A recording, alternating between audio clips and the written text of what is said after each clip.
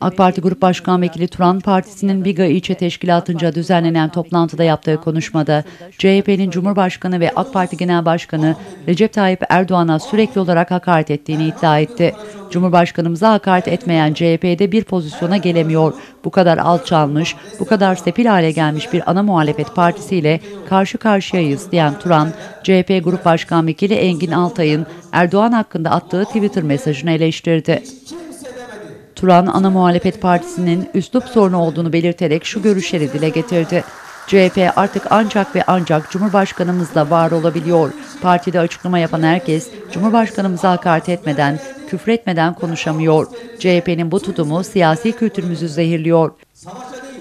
Sayın Cumhurbaşkanımızın eleştirilerine dair edecekleri tek laf olmayınca işe hakarete bardırıyorlar.